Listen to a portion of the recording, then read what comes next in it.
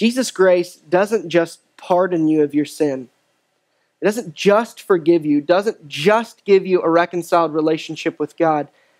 Jesus' grace also opens your eyes so that you see the truth. I'm not talking just physically, I'm talking spiritually. You come alive to what is actually true. The Bible's true. Jesus is the Savior, Jesus is the King, Jesus is the worthy one. So, friends, if you see Jesus as valuable, if you see that Jesus is the true one, He is the way, He is the truth, He is the life, if you see that the Scripture is what God has given us to reveal Himself to us and what we should obey and follow, if you see that, praise God. It's because Jesus' grace gave that to you. It's because Jesus came and opened your eyes to the truth. Are your eyes open? Do you see Jesus for who He is? Do you value Jesus? If not, pray. If you're sitting there and you just don't really care what's going on right now, you're tuning out, you're checking your Facebook, you're tweeting, you don't really care to hear about Jesus, you don't really desire Jesus, pray. Pray for God to open your eyes to the beauty of Jesus.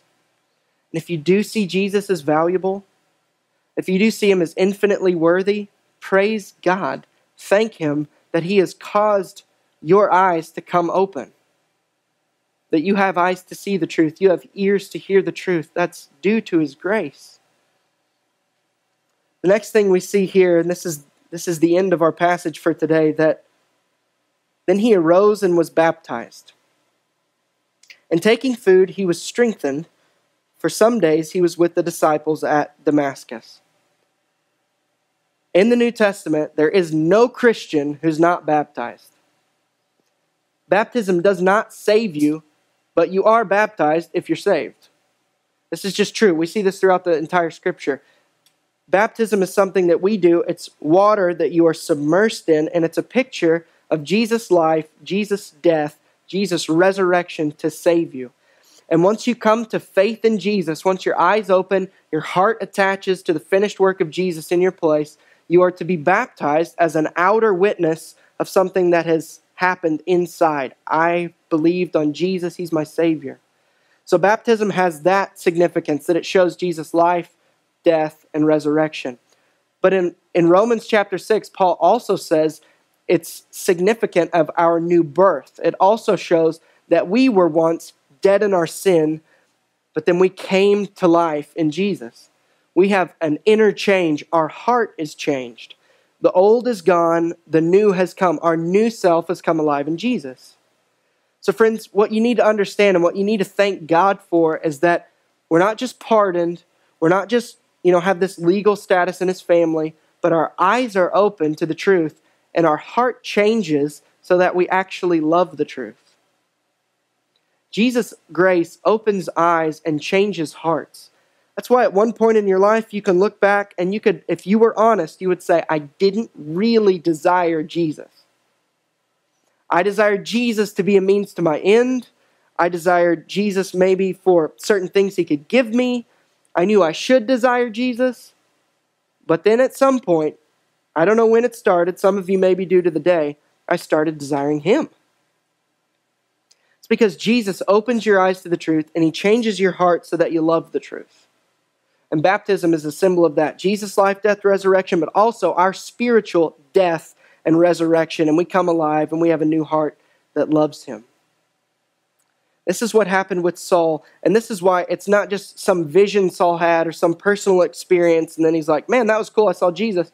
I'll live my whole life for him just because I saw him that one time and it was like, whoa, that was a bright light. No, his eyes were open to the truth and his heart started to love the truth because Jesus worked in him and through him. Do you love Jesus? Have you had an experience with Jesus' grace? Have you seen him for who he is? And do you love him for who he is? Have you been confronted with your sin? But have you also been comforted with Jesus' cross? Have you been reconciled to God through faith in Jesus? Have you been redeemed? Have you started using your gifts and talents to serve Jesus and to serve his people, to help more people meet him and more people be loved? Have your eyes open? Has your heart been changed? I pray to God that if it hasn't, that that would happen now. That as you're sitting there, as you're hearing about the glory of Jesus, that scales, something like scales, would fall from your eyes spiritually and you would see him. And you would trust him. And those of you Christians, I want you to be comforted. I want you to realize that if you're in Christ, your heart's changed. And I think a lot of us struggle and sometimes maybe even thinks like, am I even changed that much? I still sin all the time. I still fail. I still stumble. I, I still hate what I do. Friends, if you hate your sin, that's evidence that your heart has been changed. I, I don't want you to think that, like, man, if my heart's truly been changed, I'm never going to sin again. It's not true. You're being sanctified, you're being set apart. You're not yet perfectly righteous. You're counted righteous, but you're not yet functionally righteous. But I, I want you to be comforted that if you hate your sin, the reason that your sin ticks you off so bad, the reason that you grieve over it and that you hate it and you don't want to do what you keep doing is because your heart's been changed. It's because you love Jesus now more than your sin, because you want to serve Jesus more than you just want to walk in darkness. So I want you to see and not, not think like, I'm not who I should be. You're exactly who you should be. Jesus' grace, if it's come in, confronted you, comforted you, reconciled you, redeemed you, opened your eyes, changed your heart, He's your King. So continue to repent of sin, but continue to praise Him for the fact that you even know you're sinning. Continue to praise Him for the fact that you even don't want to sin. That's evidence that He's changed your heart. He's working on you, and He's going to keep working on you. He's going to keep giving you grace.